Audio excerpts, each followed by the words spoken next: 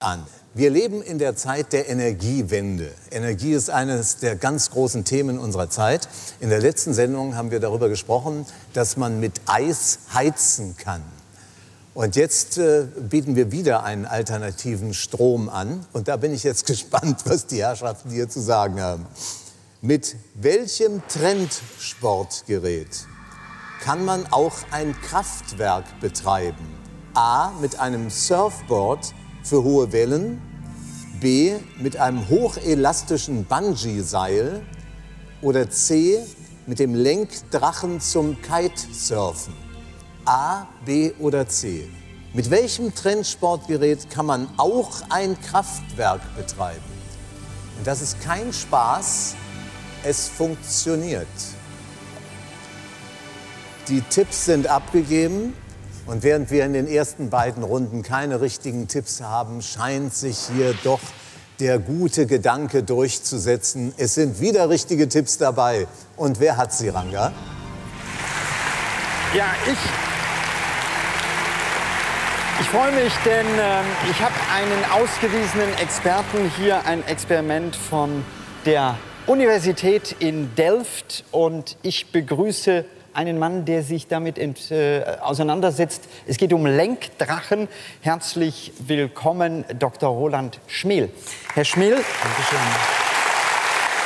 Lenkdrachen. Also zuerst einmal Drachenfliegen, das ist so einfach, so trivial. Jedes Kind kennt das, Sie kennen das auch. Wenn man das Ganze auf dem Meer macht, dann hat man eine neue Trendsportart, nämlich das Kiting. Also der Lenkdrachen hat eine Menge Zugkraft und treibt in dem Falle das Surfbrett an. Das hat man auch in groß hergestellt, äh, und zwar bei großen Containerschiffen. Und man ist damit in der Lage, 10 Prozent des Treibstoffs einzusparen durch solche großen Lenkdrachen. Aber Sie sagen jetzt, wir können noch mehr, wir können damit Energie machen. Wie geht das? Richtig. Das machen wir mit unserem 25 Quadratmeter Lenkdrachen hier. Das ist so ein Exemplar von unserem Technologiedemonstrator.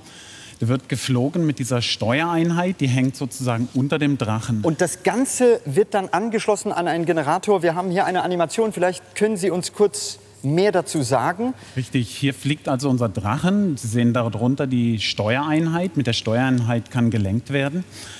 Und die, das Kabel wird jetzt von der Spule abgezogen, das ist die Bodenstation. An der Spule selbst ist die, der Generator befestigt.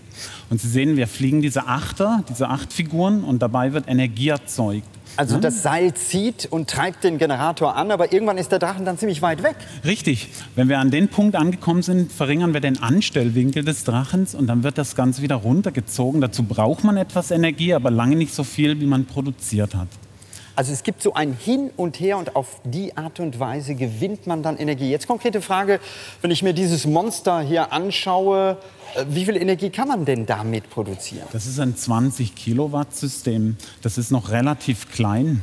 Also das würde ausreichen für, ich sag mal, drei oder vier äh, Einfamilienhäuser. Ja, schon mehr, zehn, zehn, zehn. Einfamilienhäuser, ja.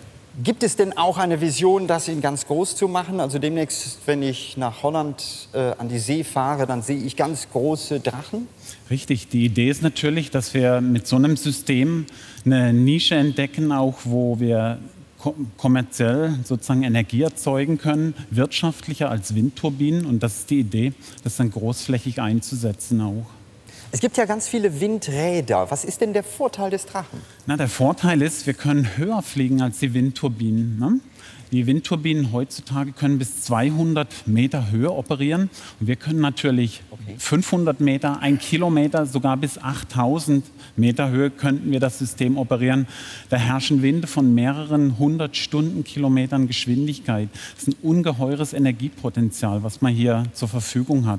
Und die Idee ist natürlich in der Zukunft, dann in diese Höhen vorzustoßen und diesen Wind zur Energieerzeugung zu verwenden. Also auf jeden Fall ein toller, ein innovativer Ansatz und solche Ideen brauchen wir, um die Energiewende hinzukriegen. Dr. Schmiel, herzlichen Dank.